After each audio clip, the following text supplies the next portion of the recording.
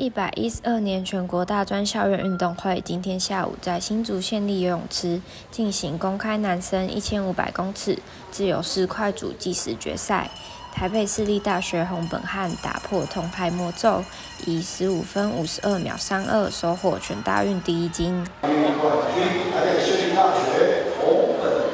其实我觉得呃蛮像在做梦的，对，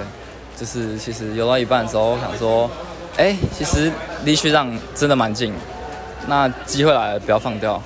一开始我想说，就照自己的配速游，不要特别去关注学长，或者是看着另外一道，因为我怕会就是呃让自己耗氧太多，就是呃打乱自己的脚步。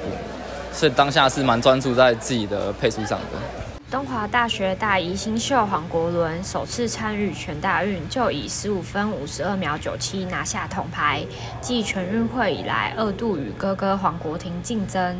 这次参加全大运，第一次跟格游，应该说不是第一次跟格游。我们上次的全运会就已经有游过一次，但是这一次是以不同的心态去面对这个挑战，就是想说突破自己，就是没有到没有到受到格格干扰这样子。这次全大运，东华大学黄国廷以恢复为目标。虽然未能延续连续五届夺金的纪录，但黄国廷认为也算有达成他在这阶段的理想。其实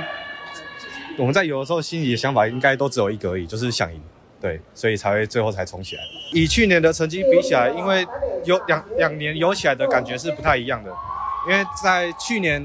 去年的十月份，我加入了那个国训中心，我在国训中心里面训练，然后那个时候也是面临要面临到不一样的挑战啊，就是要要去适应场地，适应不同的教练，对，所以成绩有落差，我觉得是其实算蛮正常的。SSU 特派员高佩瑜新竹采访报道。